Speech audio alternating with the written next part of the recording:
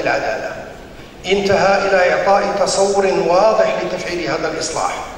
تجسد في ميثاق وطني تبنته لجنة عليا للحوار الوطني كان يرأسها آنذاك وزير العدل والحريات. وقد هذا هو المؤتمر الثالث الذي كتستضيفه الودادية على مستوى عالمي. مؤتمر إفريقي كان في 2008 مؤتمر الدولي الأول في 2009 الآن المؤتمر الثاني. وهذا إن دل على شيء يدل على أن المغرب هو بلد بلد السلم والسلام بلد التسامح بلد حوار الحضارات آه، بلد اللي الكل كيطمئن. له ثم البلد اللي هو عنده واحد العلاقة متينة وقيمة على مستوى قضاه العالم. لأن المتوخم من المؤتمرات هو أن اللقاءات يكون فيها تبادل الآراء توحيد الرؤى اجتهاد كما لاحظتم في الكلمة ديال رئيس رئيس الاتحاد أن هناك معاناة بعض الدول التي تعاني من من من تطبيق الديمقراطية والتي تم فصلها عن الاتحاد.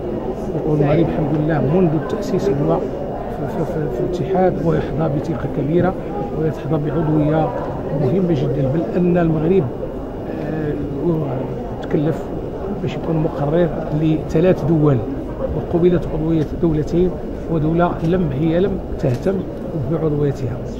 آه، حقيقة آه، المواضيع اللي غتناقش المؤتمر هي كلها كتنصب في إطار استقلال السلطة القضائية القوانين الكونية لاستقلال القاضي وكذلك لمدونة القيام القضائية هذا كله آه، كيدل على أن هناك واحد اهتمام كبير لا من الجميع وحتى أن اللي أضفى واحد النكهه كبيرة اعطى واحد القيمه مضافة للمؤتمر هو الرعاية السامية لصحابه جلال الملك محمد السادس نصر الله محمد خضراوي نائب رئيس الوداديه الحسنيه للقضاة آه، مكلف بالتواصل اليوم آه، أكيد أننا نعيش نسخة ثانية بعد المؤتمر الأول الذي نظمته الوداديه الحسنيه للقضاة آه، لهذا الإطار اللي هو الاتحاد الدولي للقضاة يضم 87 دولة.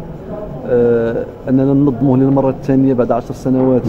يعني هذه سابقة أولى من نوعها أولا في تاريخ هذا المنتظر. رسالة ثقة في التجربة المغربية.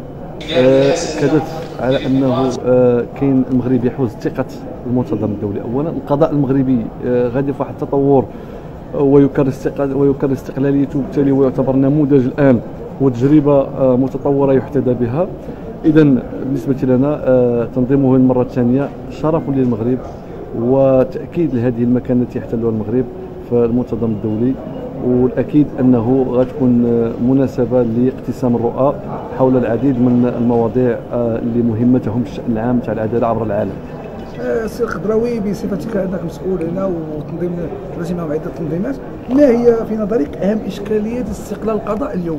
نعم آه، اولا أهم إشكالية في اشكاليه استقلال القضاء هو أنه لابد من توفير الاستقلال المادي والمؤسساتي لهذه السلطة أكيد أننا اليوم أمام سلطة مستقلة دستوريا وتنظيميا ولكن أكيد أيضا أنه المسار طويل.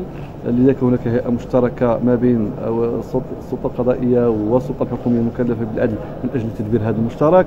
لابد من تأهيل العنصر البشري لابد من توفير بنية مالية ولوجستيكية لابد من تغيير عقليات لابد من مواكبة من طرف المجتمع. اذا مسألة الاستقلال هو مشروع مجتمعي وليس وموضوع لا بد له من الصبر لا بد له من آه، المواكبة ولا بد له من آليات طبيعة الحال ومقومات.